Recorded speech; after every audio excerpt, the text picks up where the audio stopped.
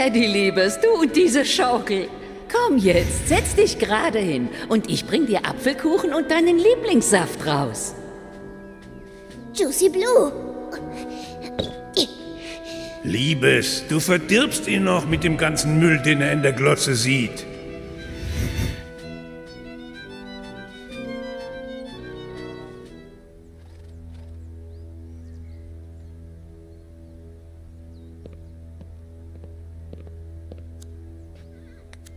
Ich kann nicht glauben, dass du einen Bunker unter der Ranch gebaut hast. Ich auch nicht.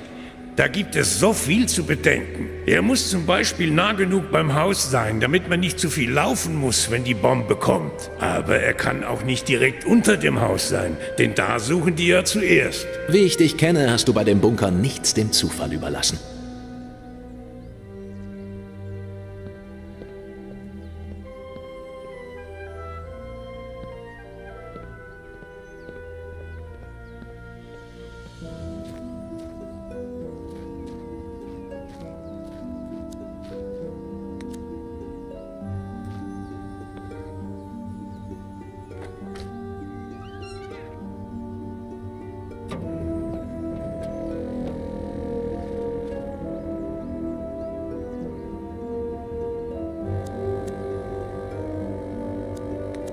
Wie ich dich kenne, hast du bei dem Bunker nichts dem Zufall überlassen. Darauf kannst du einen lassen.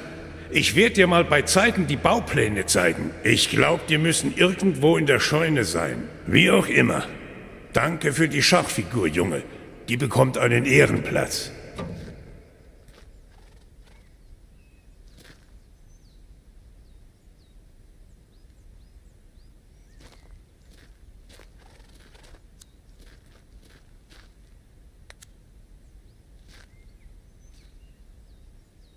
Der Bunkereingang könnte überall sein. Ein Versuch kann nicht schaden.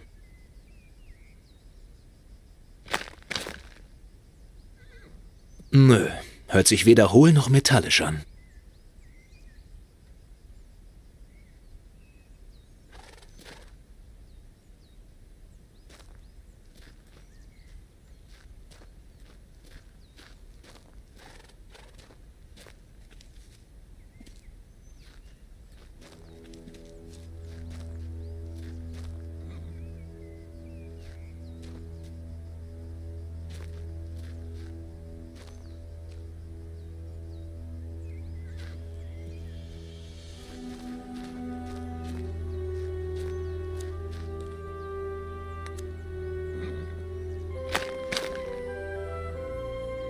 Scheint nicht hier zu sein.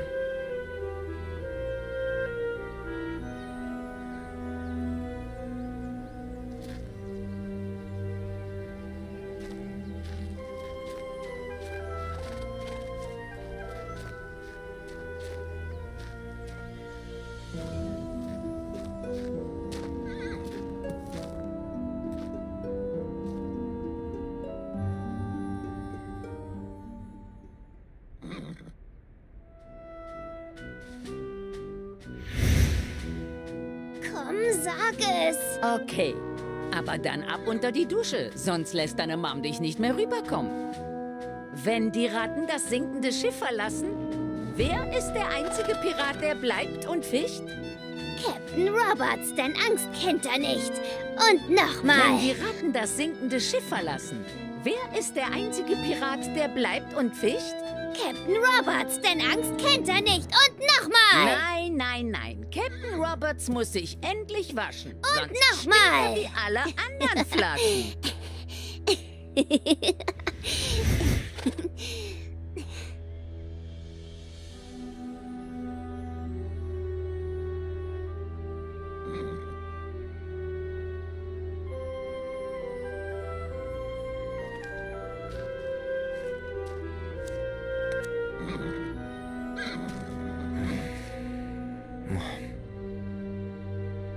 Du vermisst sie auch, was, alter Kumpel?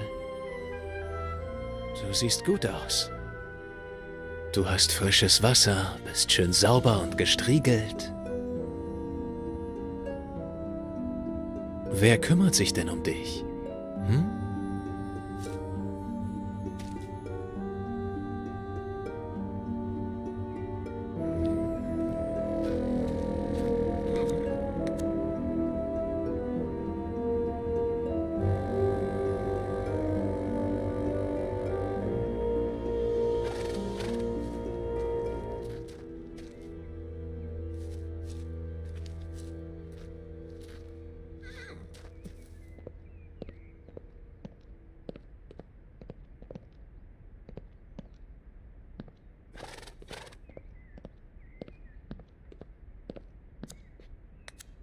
Die Baupläne müssen noch irgendwo in der Scheune sein.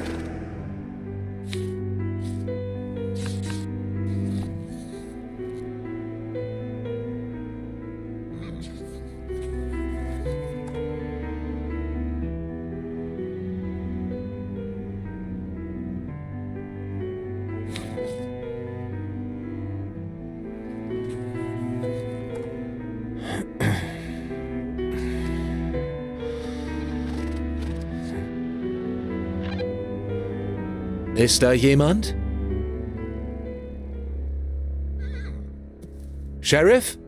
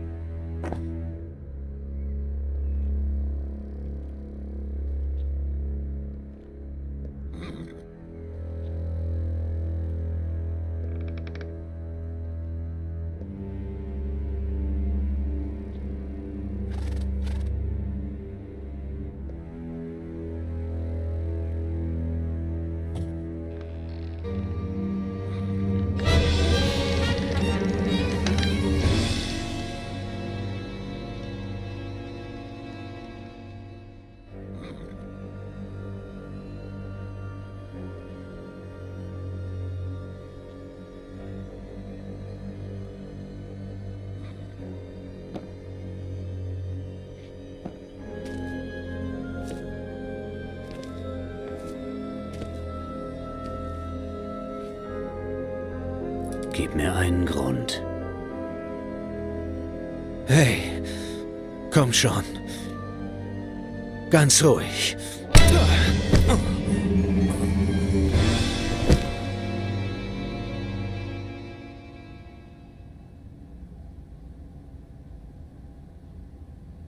Robert. Sie war zwei, als ich sie adoptiert habe. Ich dachte immer, ich werde mal dafür entschädigt, dass ich bei ihrer Geburt nicht dabei war. Dafür musste ich sie dann zweimal sterben sehen.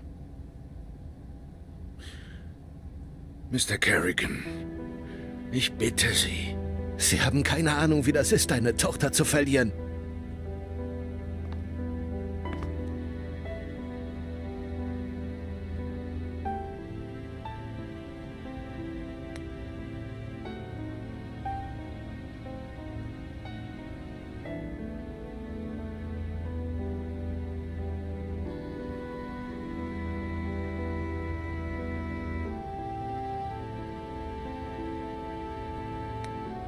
Ich würde Ihnen gerne diesen Schmerz ersparen. Aber nur Sie können die Leiche identifizieren.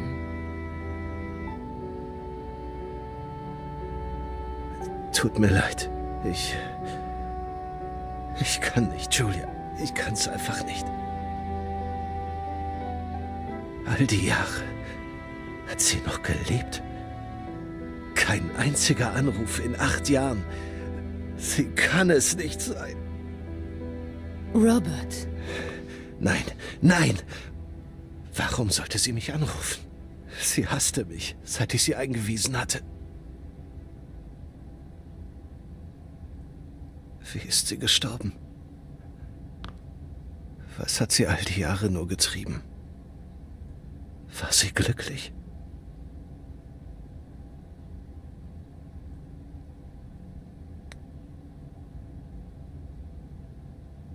Robert.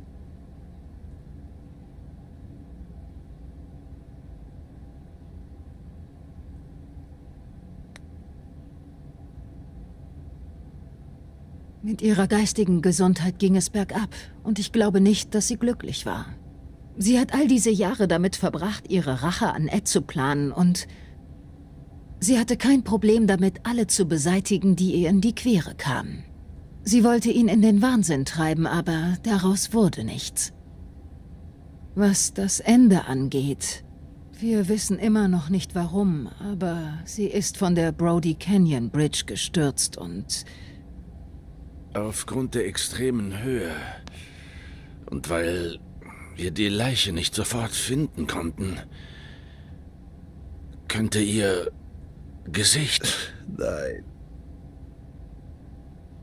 Vielleicht ist die erwähnte Narbe bei der Identifizierung von größerer Hilfe.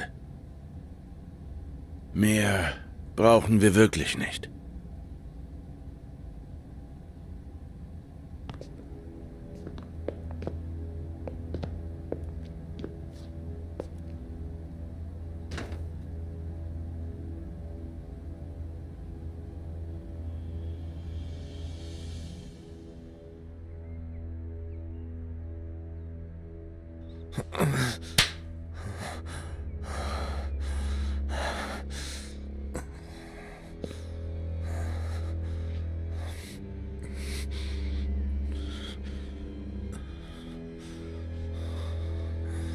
Adam. Warum? Warum? Warum? Warum? Warum?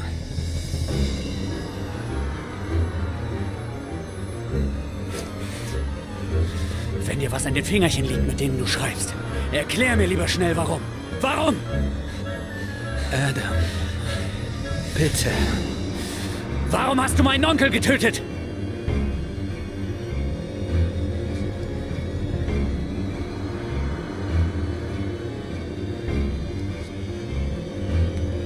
Adam, dein Onkel war mein Freund. Ich habe ihn nicht getötet, sondern Faye. Äh, Veronica. Bullshit, Veronica. Faye, ist doch egal, wer abgedrückt hat. Du warst Komplize bei seiner Ermordung. Komplize? Adam! Du wolltest mich schon immer loswerden. Als kleiner Junge und als Erwachsener. Du hast sie mir weggenommen. Du hast mir ihre Liebe gestohlen. Angeln, Schach, die gemeinsamen Nachmittage. Du hast sie mir weggenommen. Und das hat dir immer noch nicht gereicht. Du wolltest die Ranch. Aber die würde ich ererben, nicht wahr? Du wolltest ihn zwingen, sein Testament zu ändern. Hattest dafür aber nie die Eier. Weil du ja noch nie die Eier für irgendwas hattest. Deine kleine Freundin hat die Drecksarbeit für dich erledigt. Und dann ist alles aus dem Ruder gelaufen. Sie hat meinen Onkel ermordet. Und du hast sie umgelegt. Weil sie es verbockt hat? Aus Wut? Damit keiner was rauskriegt? Adam, das ist Wahnsinn. Mir reicht's.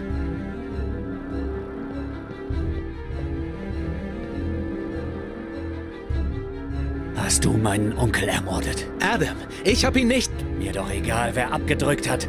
Hast du meinen Onkel ermordet? Ich weiß wo. Hast du meinen Onkel ermordet? Nein, ich habe nichts mit seinem Tod zu tun. Nichts. Du gibst einfach nicht auf, was? Okay.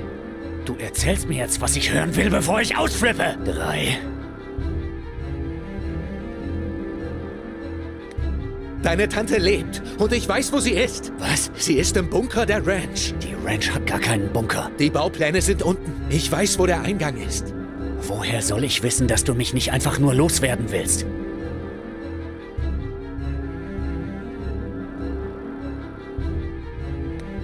Das bist doch nicht du, Adam Franklin. Du bist ein anständiger Mann, aber wenn du das tust. Du hast es so gewollt.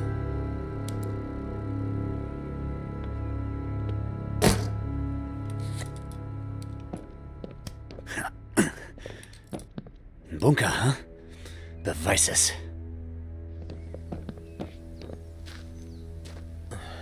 Laut der Baupläne sollte er hier sein.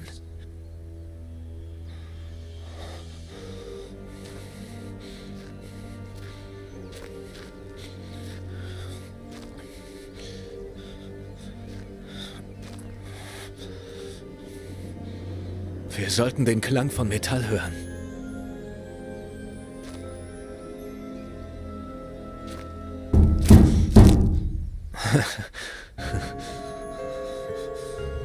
Er ist genau hier, ganz ohne Zweifel.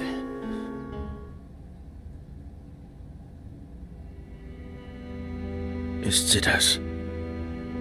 Wusstest du, dass die meisten tapferen kleinen Mädchen auch Narben haben? Jetzt kriegst du auch eine. Und weißt du was? Sie wird wie ein V aussehen. V wie Veronica?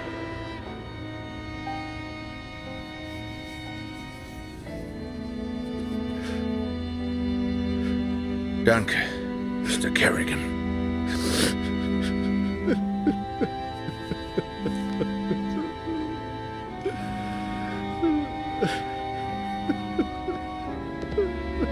Adam, endlich. Wo warst du? Was? Mit Miller?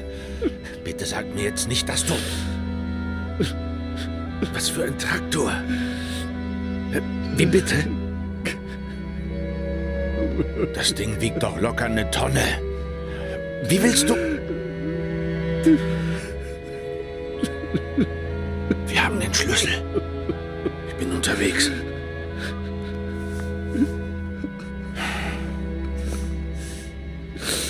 Ich muss zur Ranch der Franklins. Wir sehen uns später. Sheriff, kann ich noch ein wenig bei meiner Tochter bleiben? Mr. Kerrigan. Vielleicht... Hm, Möchten Sie Ihre Enkelin kennenlernen?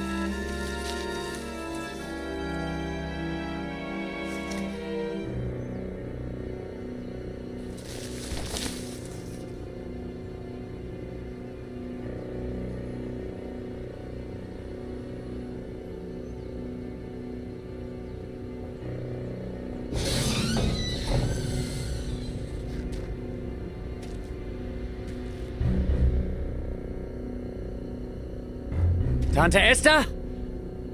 Kannst du mich hören?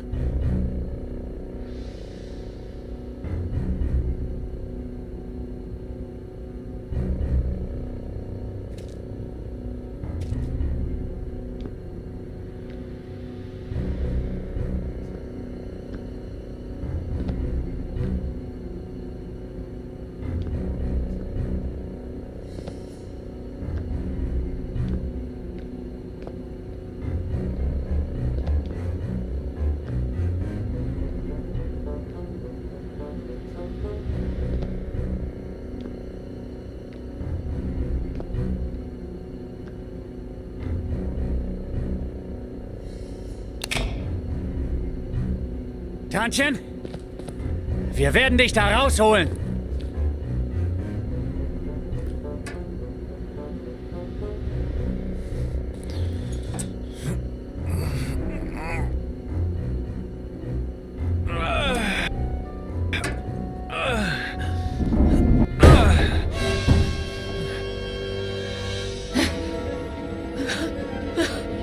Tante Esther, bist du okay?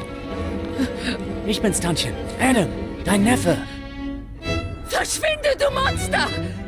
Tantchen, ich bin's. Runter mit dem Messer. Verschwinde!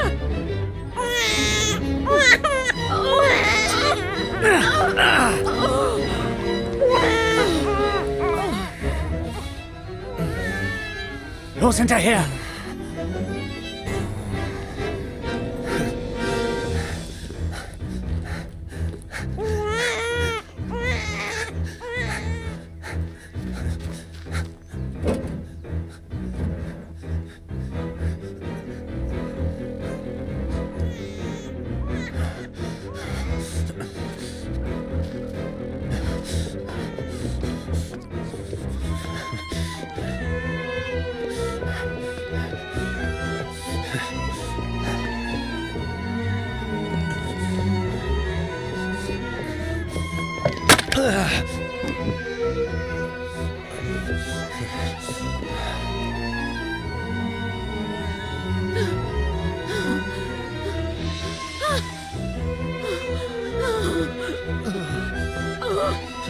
Esther, schau mich an. Ich bin's, Eddie Miller. Eddie. Du hast Sam getötet!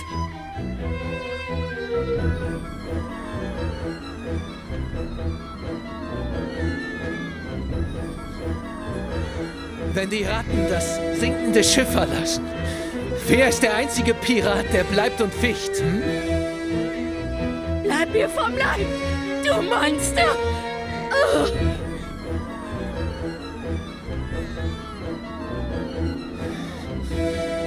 Wenn die Ratten das sinkende Schiff verlassen, wer ist der einzige Pirat, der bleibt und ficht?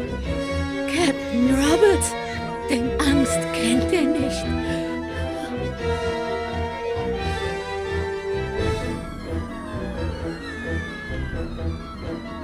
Wenn die Ratten das sinkende Schiff verlassen, wer ist der einzige Pirat, der bleibt und ficht? Hm? Captain Roberts! Kennt er nicht. Eddie! Eddie!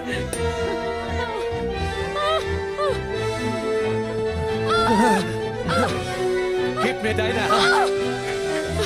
Esther! Gib mir deine Hand!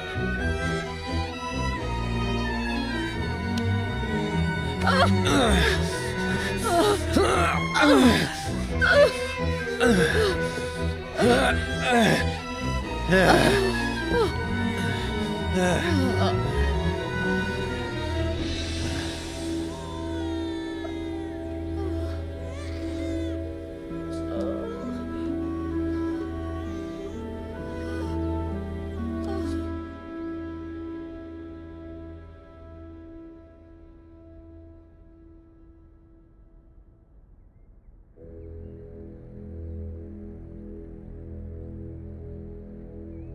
Ach, mein lieber Junge. Was habe ich dir angetan? Wird schon wieder. Keine Sorge. Der Krankenwagen ist unterwegs. Die werden ein paar Tests machen und... Äh, Wir hatten alles da. Wasser und Essen. Typisch Sam. Mrs. Franklin, könnten Sie, also wenn es Ihnen besser geht, könnten Sie uns vielleicht sagen, was passiert ist? Ich hab Sam gesagt, es sei zu spät, um noch durch den Wald zu gehen. Er sollte lieber das Auto nehmen. Aber er wollte unbedingt zu deinem Haus laufen.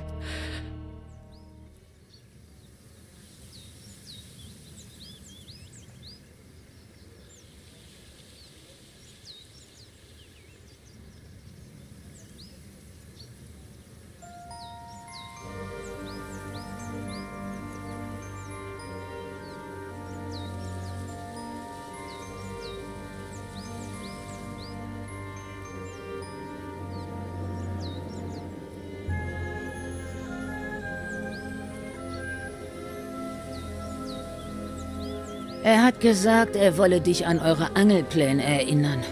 Aber ich weiß, dass er sich einfach nur ein Bier mit dir genehmigen wollte. Ich war überrascht, als er so schnell zurückkam. Er...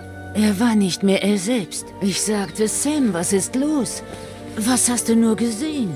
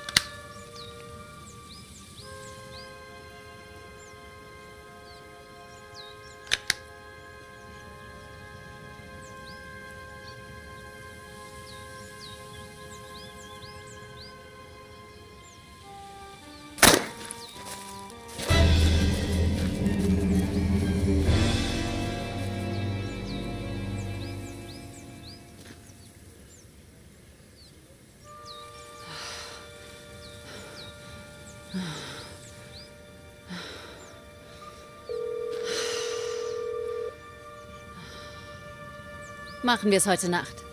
Gleiche Zeit. Schön pünktlich sein.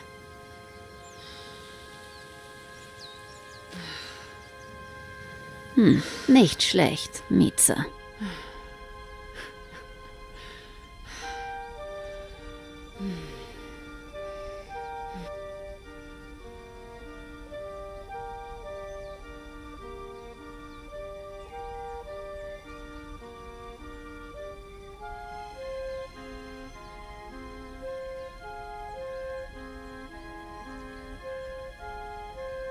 Ich hab Sam gesagt, er soll sofort die Polizei rufen, aber ihr wisst ja, wie dickköpfig er war. Er meinte, er sagt's dir am nächsten Tag beim Angeln. Er hat sich keine Gedanken darüber gemacht. Er hat gesagt, dass jede Menge junger Leute im Wald Zielübungen machen. Wahrscheinlich war es nur ein Eichhörnchen. Wir haben die Nacht nicht gut geschlafen und sind früher als sonst aufgestanden. Noch bevor es richtig hell geworden war, hörten wir beim Frühstück ein Auto. Das fanden wir seltsam.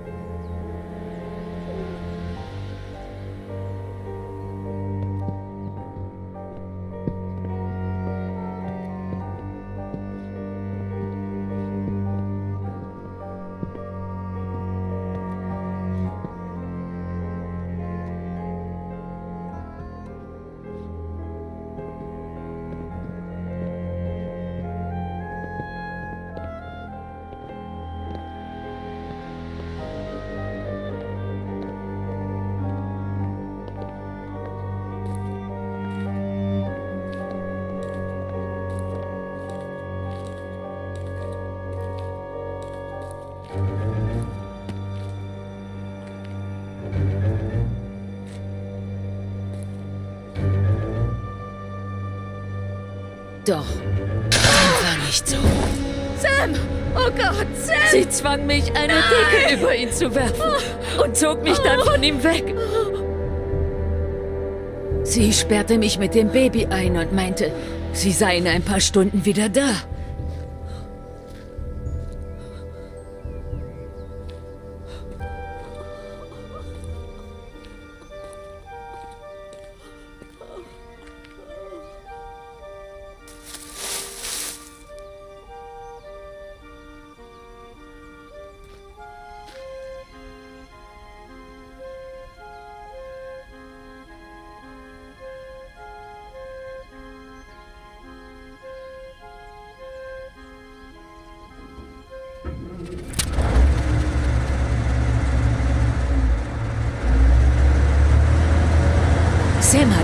Telefon im Bunker installiert. Ich habe versucht, jemanden anzurufen, aber... Ich wusste nicht mehr, wie spät es war. Also habe ich mich darauf gefasst gemacht, dass sie zurückkommt.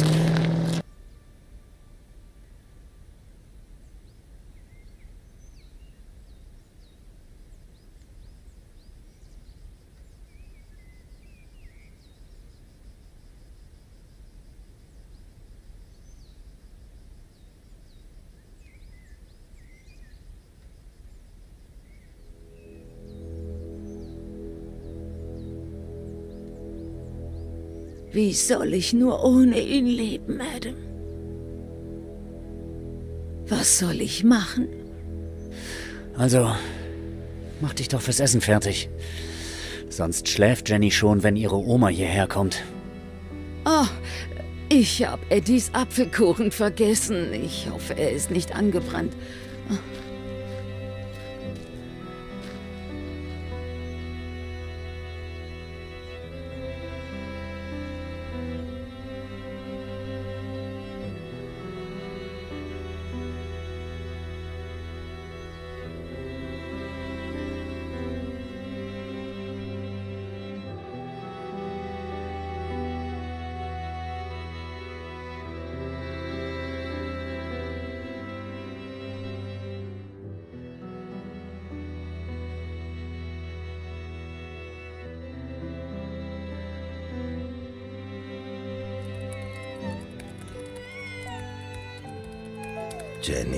Schätzchen, sag deinem Daddy, er soll das schreiben lassen und spielen kommen. Der ignoriert Opa einfach. Hä? Wenn du so weitermachst, hast du den Roman in Rekordzeit fertig.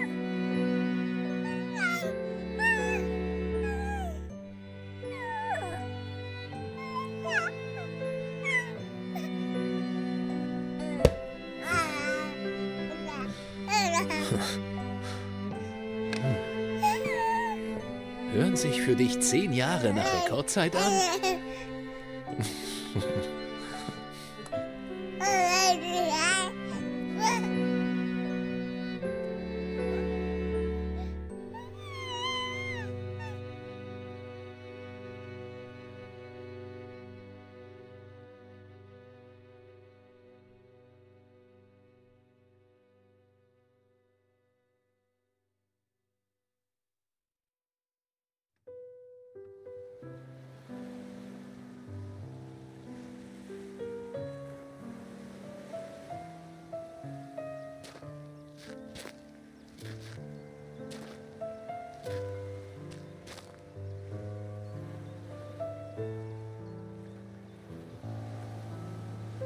Was beschäftigt Sie?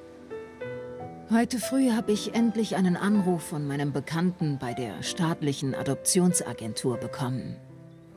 Offenbar hat die Agentur, über die Robert Veronica adoptiert hat, ihm wichtige Informationen vorenthalten. Über ihre leiblichen Eltern. Was? Sie haben sie missbraucht. Sie haben sie kaputt gemacht, dieser... Ich will nicht mehr drüber nachdenken. Diese Teufel. Erklärt es das, warum sie eine Psychopathin war? Viele Missbrauchsopfer werden selbst zu Tätern. Aber manchmal, wenn sie eine bessere Familie finden, bei der sie sich geborgen fühlen, gleicht das irgendwie das frühere Trauma wieder aus. In Veronicas Fall konnte ihr nicht mal Roberts aufrichtige Liebe helfen. Dafür gibt es viele verschiedene Gründe. Persönliche, soziale, sogar biologische. Wir wissen es nicht. Ich vermute, wir sind alle irgendwie ein bisschen kaputt. Wir werden nicht alle wie Veronica, aber wir sind doch keine Heiligen. Ich dachte, Sie wollten mir nicht ins Handwerk pfuschen. Hey! Wer hat mir denn die ganze Woche ins Handwerk gepfuscht?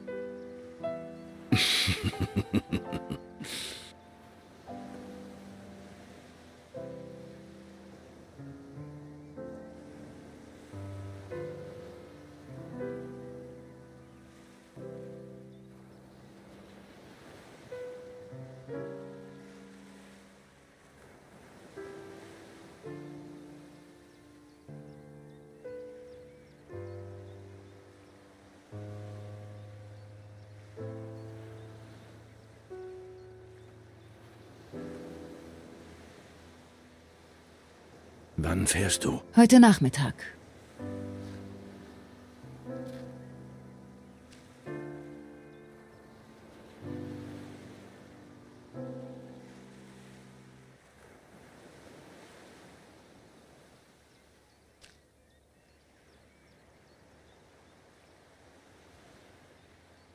Wenn ich mit dem ganzen Papierkram fertig bin. Wenn du nicht so viel zu tun hast. Ich weiß, da wartet jemand auf dich in L.A., aber Cerro Lake ist wunderschön zu dieser Jahreszeit. Und Es gibt da jemanden, aber ich habe ihm schon viel zu viele Chancen gegeben. Cerro Lake bisher keine. Wir könnten zurück zu Mama Louise gehen. ich habe da so viel noch nicht ausprobiert.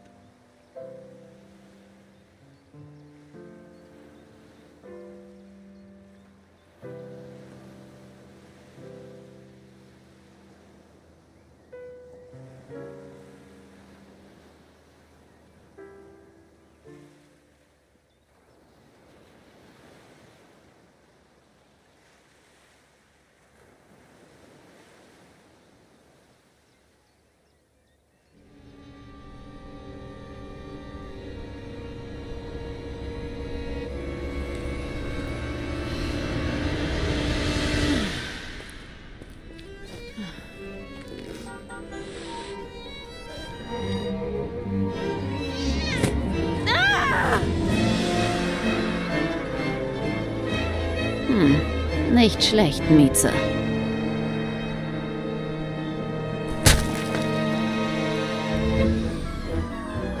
Bitte! Rühr sie nicht an! Sie ist doch nur ein Baby! Rühr sie nicht an! Sie ist meine Tochter! Kannst du an der Puppe zeigen, wo er dich angefasst hat? Wir haben einen neuen Dad für dich gefunden. Verstehst du, was das bedeutet? Dich auch lieb, Schätzchen. Bis zum Mond und zurück. Du bist kein böses Mädchen. Bleiben wir Freundinnen, wenn ich weg bin? Sie ist deine Tochter, Ed. Schnauze.